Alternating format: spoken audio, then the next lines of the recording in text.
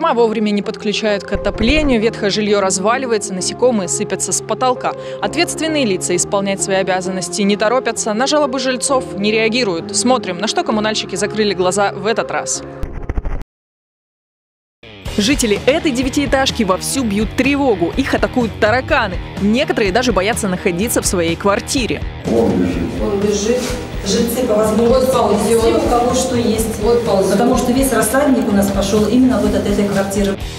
Замерзают регулярно. Жители двухэтажки несколько недель добивались, чтобы в их дом подали тепло. У нас проблема с отоплением. В 20, э, получается, 25-го уже официально должны были подключить все дома, у нас не было отопления.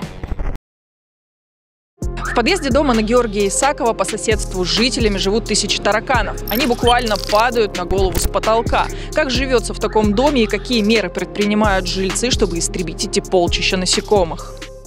У кого их никогда не было, даже люди, прожившие здесь много лет, стали обнаруживать у себя в квартирах тараканы. Дети стали ночами бояться спать. Вот со второго этажа буквально сегодня утром, нет, даже вчера муж увез жену в деревню, потому что дети побоялись спать, спали при свете. Естественно, что ну как, ну невозможно. Видите, как тараканы падают на голову.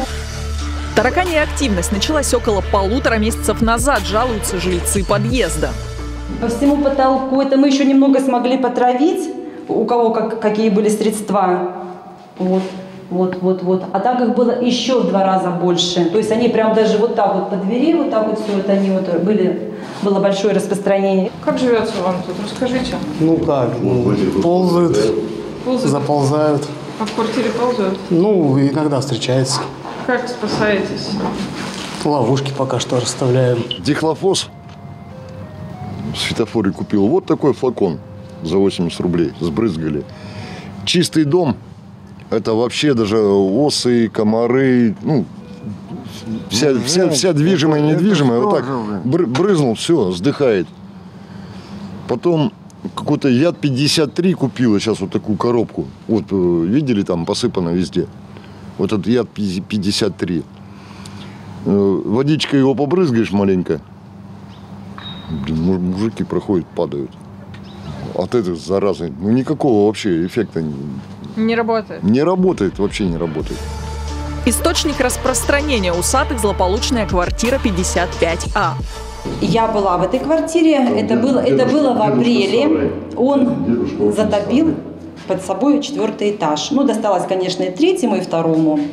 Соответственно, что постучались к нему, там квартира, квартира в таком ужасном состоянии, там полная антисанитария, у него санузел протекал, то есть как бы там запахи были ужасные, он даже сидел на полу, говорить практически он не мог. Поэтому там, ну, это не удивление, что тараканы поползли. Ужасное состояние в квартире. Попасть в эту квартиру сейчас люди не могут, дверь никто не открывает. В управляющей компании владельцы квартиры долгое время ничего не знали, хотя готовы провести дезинфекцию. Час назад буквально выяснили, что жилец этой квартиры умер. Было везде в соцсети распространено ну, вот эти вот все фотографии, ужасающие, так скажем, как из фильмов ужаса. Вы уже обратили на это внимание. Из родственников никто не откликнулся, никто не позвонил, никто не пришел. Как э, показывают наши открытые источники, данные Росреестра, мы видим о том, что в 2019 году на квартиру было оформлено право собственности, то есть умерший был собственником.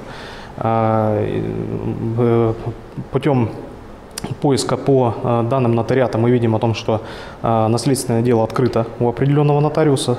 Соответственно, нашлись некие э, потенциальные собственники, наследники, которые обратились за открытием и принятием наследства этого. Чтобы получить полную выписку данных умершего и наследника, необходимо обратиться в органы нотариата. В данной ситуации основание весомое, подчеркивает эксперт. И в дальнейшем мы уже направляем, то есть если у нас есть прям данные о том, где проживают потенциальные наследники, мы направляем им претензию, э, либо уже сразу в исковом порядке обращаемся э, в суд с исковым заявлением о приведении э, имущества в нормативное состояние, то есть чтобы была проведена дезинсекционная обработка там и так далее. Кыш пернатый. Видишь, бежит.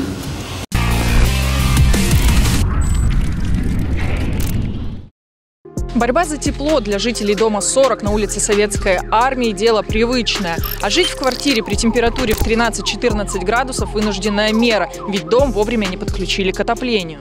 С 25-го мы начали звонить в управляющую компанию, все дружно, через час каждый обзванивал. У вас порыв. Звоним в БТСК. БТСК говорит, «Ва- этот порыв не касается вашего дома, нету порыва, подключайте, запускайте отопление. Звоню в управляющую, берет та же самая девушка трубку и говорит, что про- порыв БТСК. Не понимая, что она общается со мной же. Дальше бесконечные звонки жильцов в управляющую компанию, администрацию железнодорожного района и попытки разобраться, в какой все-таки инстанции случился прорыв.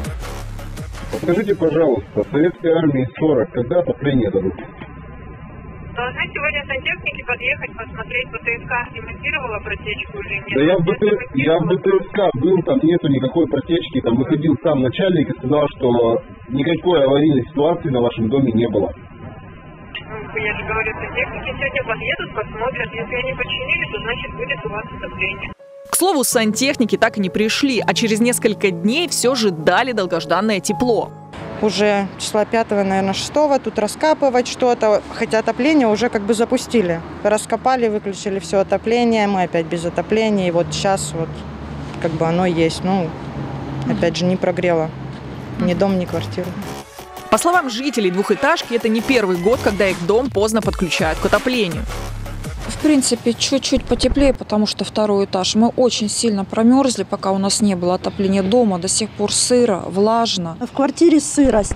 В кухне вообще, вот моя квартира, да, в кухне под шкафами вообще вода. Все застелено, потому что пройти невозможно, пол ледяной. Застилаем тряпками, чтобы ребенок мог пройти чисто в туалет. Вон, смотрите, что стены какие.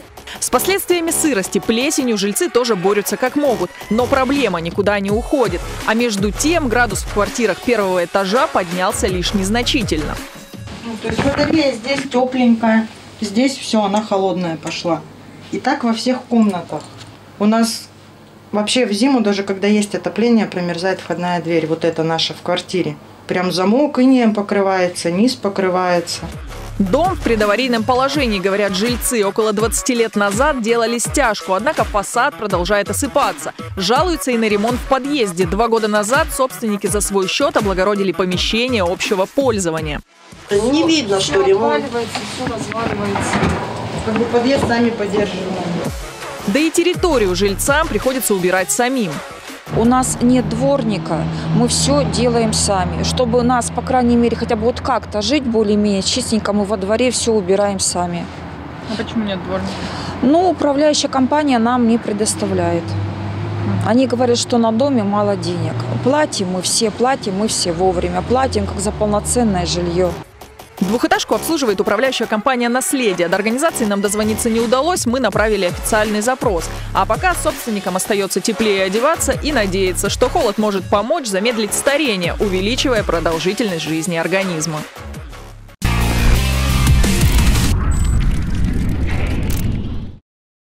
На этом все. Напоминаю, если у вас есть коммунальная проблема, звоните в редакцию телеканала «Толк», пишите нам в социальных сетях или оставляйте заявку на сайте. Это был «Коммунальный патруль». До встречи!